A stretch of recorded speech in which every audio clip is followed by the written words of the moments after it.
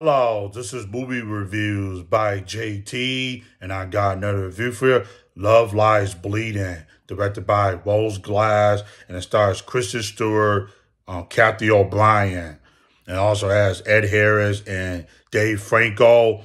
Um, this film was wild crazy. Um, Cathy O'Brian and Kristen Stewart performance in this film is outstanding. A couple of violence in it. Uh, Rose Glass, uh, who did Saint Maud, uh, did a great job directing this film. Uh, I had a good time watching this film. It was I loved it. Um, one of my favorite films of 2024 so far. Um, yeah, Kathy O'Brian, she was buffed in this film, playing a bodybuilder. Kristen Stewart wants to gym. Ed Harris played Kristen Stewart's character's father. Um, Dave Franco, who plays um uh Kristen Stewart's character's sister's um husband.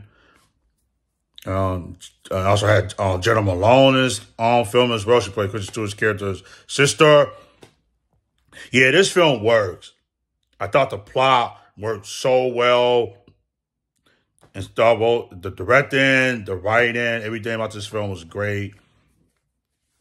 And um, yeah, it, this is a great film. I loved it a lot. I'm probably gonna be watching it. Can't wait to own it on Blu-ray very soon. Yeah, the buzz for this from out of Sundance was strong. People was raving about this film so much. And um, yeah, they were right. This film is great. I loved it. And um, yeah, it's good. Definitely check it out. It is great. And um, yeah, I give um Love Lies Bleeding an eight out of nine. Great film, strong performances, and everything. So that's my review for um, Love Lies Bleeding.